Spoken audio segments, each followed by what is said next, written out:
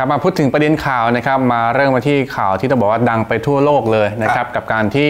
ฟีฟ่านะครับประธานฟีฟ่าส่งหนังสือมาถึงสมาคมกีฬาฟุตบอลแห่งประเทศไทยในการเชิญทีมน้องๆ หมูป่าอะคาเดมี่นะครับที่ตอนนี้กำลังติดอยู่ภายในถ้ำหลวงนะครับใช่ถ้าหากออกมาได้เนี่ยจะเชิญไปดูเกมนัดชิงชนะเลิศในฟุตบอลโลกที่รัสเซีย ใช่ครับผมก็ทางจานนี่อินฟานติโนครับผมก็เป็นประธานสหพันธ์ฟุตบอลนานาชาติหรือฟีฟ่านี่นะครับส่งหนังสือมาถึงอ่า ทางสมาคมกีฬาฟุตบอลแห่งประเทศไทยเราครับนะครับซึ่งเรื่องนี้นี่ก็ถือว่าเป็นสิ่งที่น่ายินดีนะครับใช่ครับ นอกจากอ่าวงการอื่นๆนะครับเขาจะยื่นมือช่วยเหลืออือฮึอันนี้เป็นเกี่ยวกับวงการฟุตบอล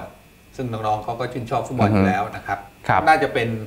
อ่ากำลังใจอือฮึในการนะครับ ซึ่งน้องๆอยู่ข้างในอาจจะยังไม่ทราบ แต่ว่าพ่อใช่แม่อะไรครับก็รู้สึกอ่าอืมีอฮึกำลังใจขึ้น เพราะว่าตัวนี้ยังออกไม่ได้ ใช่ครับ ก็เหมือนกับเป็นการส่งกำลังใจนะครับ ให้น้องๆเนี่ยเหมือนมีแรงสู้เพื่อที่จะต่อสู้ แล้วก็มีความหวังที่จะได้มาดูฟุตบอลโลกนัดชิง ถึงใช่ประเทศรัสเซียเลย แต่ทั้งนี้ทั้งนั้นเนี่ยก็ต้องรอดูการช่วยเหลือก่อนว่าจะทันท่วงทีในการที่จะถึงเกมนัดชิงหรือเปล่าจะออกมาได้ทันหรือเปล่า ใช่นะครับนะครับผมเพราะว่าตอนนี้นี่ในส่วนของการจะนำน้องออกมานี่ก็ต้องครับดูกันอย่างรอบคอบอือฮึแล้วก็ปลอดภัยที่สุดด้วย ใช่ครับก็เอาใจช่วยกันต่อไปครับ